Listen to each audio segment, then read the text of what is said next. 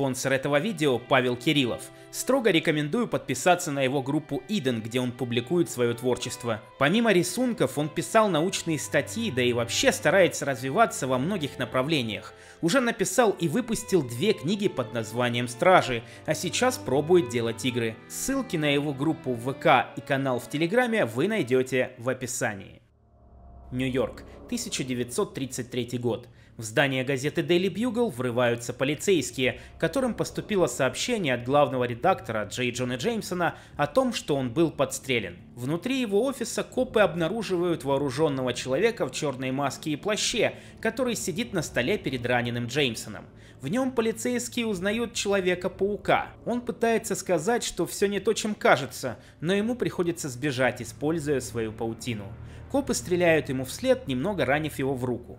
Похоже, что Джона был прав насчет паука, но вряд ли сейчас он рад этому. Далее нас переносят на три недели в прошлое, где Бен Урих, репортер Daily Bugle, отправляется в городские трущобы, чтобы сделать снимки, которые тронут читателей и заставят их прослезиться.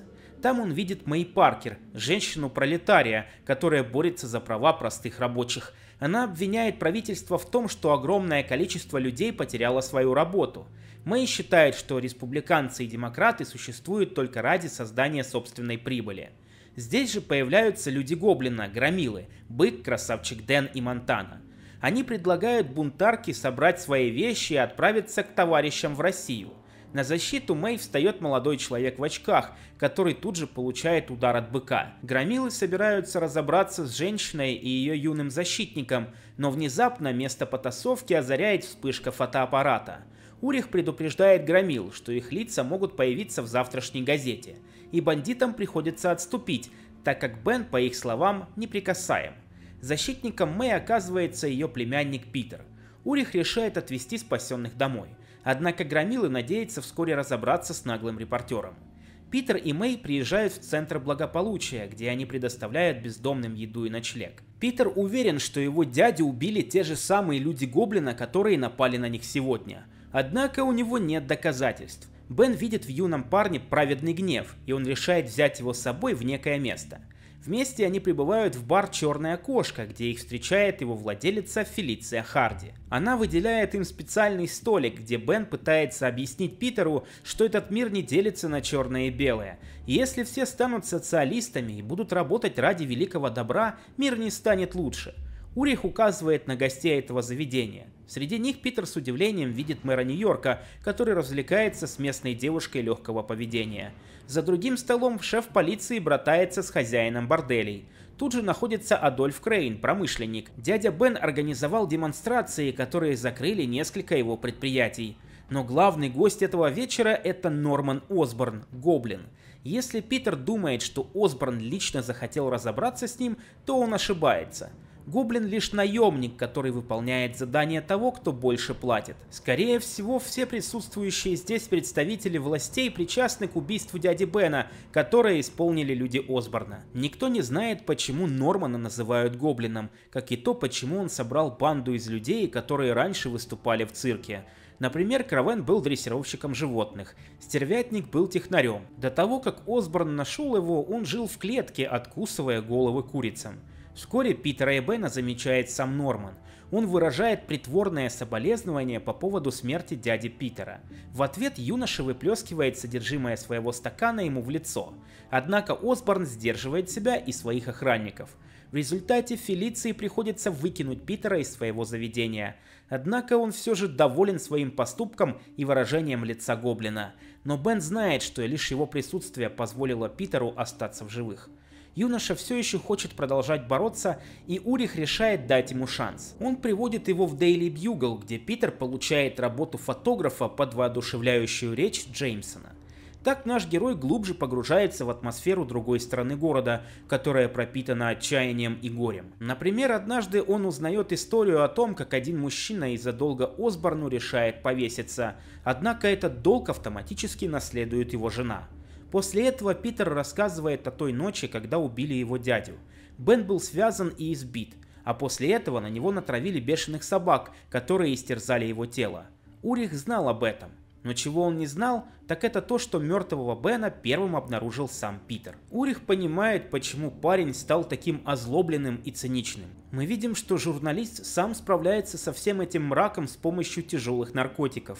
Единственное, в чем ошибся Питер, это в том, что его дядю убила не стая собак. Это был Эдриан Тумс, стервятник. С ним обращались как с животным, и со временем он превратился в настоящего зверя. В результате именно стервятник зверски разорвал тело Бена, отведав его плоть. И Урих в курсе этого, потому что он был там в момент этой жестокой расправы. Питер помогал в работе Бену на улицах в течение двух недель. У него будто была нескончаемая энергия – его жажда правды и справедливости наполняла Уриха. Бен рассказал Питеру, что владельцы зданий поджигают их вместе с жильцами, чтобы получить выплаты по страховке, когда недвижимость падала в цене. Если Паркера это шокировало, то Урих слишком привык к таким ужасам. И никто не расследовал эти поджоги, потому что все имели свою долю от такой махинации. Копы, страховщики, следователи. Все погрязли в коррупции. Питер рассказывает, что его дядя был летчиком во время Великой войны.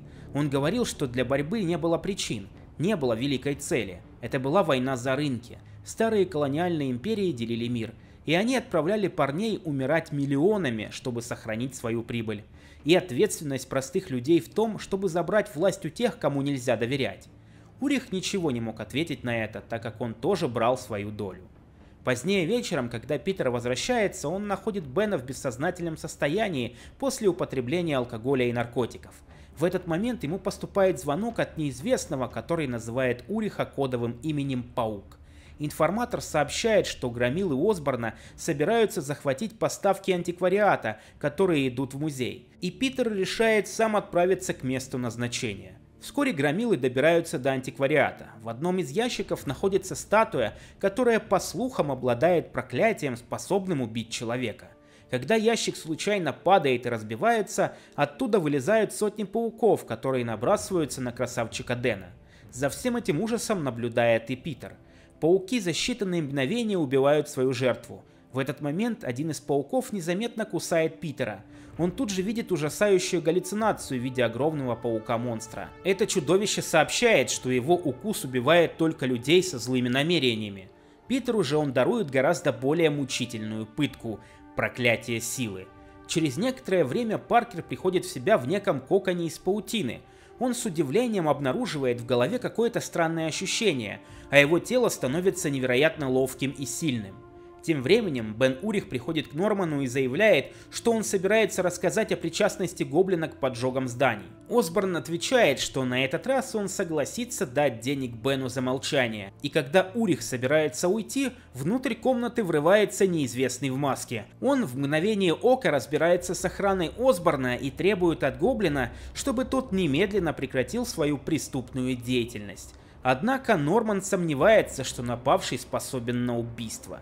В этот момент Питер замечает Уриха. Он догоняет Бена на улице и в ярости обвиняет того, что журналист брал грязные деньги, на которые покупал алкоголь и наркотики. Урих узнает Питера под маской, но Паркер больше не хочет его видеть. Тут же появляется Гоблин вместе с громилами и открывает огонь по Питеру. Однако наш герой с невероятной ловкостью уворачивается от выстрелов. После этого Осборн требует, чтобы Бен узнал, кто это был. Однако Урих в ярости бросает в Нормана деньги и говорит, что он больше не будет работать на него. Вернувшись домой, Бен связывается с Джоной, чтобы сообщить, что он готов раскрыть преступную деятельность Гоблина. Джеймсон отвечает, что он скоро приедет к нему. Через некоторое время Бен открывает дверь, когда кто-то в нее стучит, но там он видит направленный на него пистолет, после чего звучит выстрел. Тем временем Питер копается в старых вещах своего дяди, чтобы подготовиться к предстоящей битве. В конце выпуска мы видим Джону, который и застрелил Бена, и Питера, облаченного в черный плащ и маску, с пистолетом в руке и зовущего себя Человеком-пауком. Питер не верит в магию. Его новые способности должны иметь научное обоснование, но пока что Паркер воспользуется ими, чтобы победить Гоблина – для этого ему будет нужна помощь Уриха, несмотря на его предательство. Однако в квартире своего бывшего наставника он обнаруживает лишь его остывший труп. Питер переодевается в гражданскую одежду и вызывает полицейских, которые в целом не особо заинтересованы раскрытием этого убийства. хотя наш герой прекрасно понимает, кто стоит за ним. Тем временем Джона приносит Осборну все документы, которые он нашел в квартире Уриха. Однако среди них нет ничего, что могло бы навредить Норману. Это значит, что журналист передал важные документы тому, кому он всецело доверяет. Когда Питер возвращается домой, там его поджидает человек Фелиции, который просит пройти вместе с ним. Паркера приводят в бар «Черная кошка», где его замечает бык. Фелиция говорит, что Бен рассказал ей о последней его встрече с Питером. Женщина утверждает, что Урих был не самым плохим человеком. Благодаря Питеру он решил раскрыть грязные дела Гоблина. За это он и погиб. Однако перед этим Бен передал Фелиции важные документы, которые просил отдать Паркеру в случае своей смерти. Питер должен использовать их, но ни в коем случае не нести в Daily Bugle. Вернувшись домой, Питер сталкивается с тетей Мэй, которая убеждает племянника, что Урих заслуживает уважительного отношения, хотя бы потому, что Бен был добр к нему. На похоронах журналиста Джона настойчиво пытается выяснить, не передавал ли Бен Паркеру важных документов. От разговора с Джеймсоном у Питера в голове появляется странное покалывание, будто предупреждающее об опасности. Поэтому он решает ничего не говорить Джонни. Позднее Человек-паук принимает решение использовать свою силу и документы Бена, чтобы нанести удар по Гоблину. Каждую ночь он нападает на людей Осборна, срывая его сделки и мешая работе его предприятий. На месте каждого столкновения паук оставляет свою визитную карточку, чтобы Норман точно знал, кто это сделал. Результате некоторые люди начинают сомневаться в том, что Осборн может контролировать свой город, а значит он не в состоянии обеспечить защиту важным людям. Норман понимает, что паук нападает на его важные точки интереса благодаря документам Уриха, а это значит, что они находятся у одного из близких Бена. В этот момент Бык упоминает, что однажды он видел Паркера вместе с Фелицией. Далее мы видим, как Человек-паук читает новый выпуск Daily Bugle, в котором его пытаются выставить в дурном свете. Поэтому Стенолаз решает лично поговорить с Джеймсоном. Проникнув в его кабинет, Питер обнаруживает Джону с двумя огнестрельными ранениями в грудь. Именно этот эпизод мы видели в самом начале комикса. Питеру удается сбежать от полиции, после чего он отправляется в свое убежище на чердаке дома – он понимает, что никто не мог знать, что паук отправится к Джоне, а значит он что-то упускает. Питер решает снова просмотреть документы Уриха, в которых описываются все наемники Гоблина – в них Паркер узнает всех, кроме одного человека. Чтобы проверить свою догадку, паук отправляется в морг, куда привезли тело Джеймсона. Прикоснувшись к его лицу, Питер видит, что оно становится податливым, словно мягкая глина. Человек-паук понимает, что перед ним находится труп еще одного циркача, Дмитрия Смердякова, брата Кравена. Его прозвище Хамелеон, которое он получил благодаря своим невероятным способностям маскировки. Здесь возникает закономерный вопрос, где же настоящий Джона? Мы видим, что Джеймсон находится в плену у Гоблина, и вскоре туда же доставляют Фелицию Харди. Теперь Норману остается найти последнего гостя. В конце выпуска мы видим Мэй, которая заходит в комнату Питера, и под потолком над ней нависает кровожадный стервятник. Стервятник набрасывается на Мэй с целью полакомиться ее мясом, так же как он сделал это с Беном. Но в дверях появляется Человек-паук и приказывает Тумзу отпустить женщину. Питер достает пистолет и направляет его в сторону стервятника, однако Мэй просит его не стрелять. Тем не менее, перед глазами Питера предстает растерзанное тело дяди Бена, и он нажимает на спусковой крючок три раза. Мэй приходит в ужас от того, что на ее глазах было совершено убийство – Несмотря на то, что стервятник собирался покончить с ней, она обвиняет паука в совершенном убийстве безоружного человека. По ее мнению, никто не может стоять выше закона. Мэй не хочет жить в мире, где люди убивают друг друга словно животные. Она просит паука отдать ей пистолет, но Питер отказывается это сделать. У него есть незавершенные дела. Человек-паук отправляется к зданию, которое обозначено в документах Уриха как пыточный дом. Там Питер обнаруживает Гоблина и его людей, которые удерживают Фелицию и Джеймсона. Однако женщина крайне удивлена, увидев живого и здорового Джону. Так как его убийство было совершено всего пару часов назад, Осборн решает, что именно Фелиция послала паука убить Джеймсона. Однако это не так. Фелиция стала свидетелем того, как Джона убил Уриха, когда она пришла, чтобы отдать Бену его документы. Затем Фелиция отправилась в Daily Bugle, где сама застрелила Джеймсона. Точнее, как оказывается, его двойника. После этого, когда Фелиция бьет пощечину гоблину, Осборн угрожает скормить ее тем самым паукам, которые находились в коробке с древним идолом.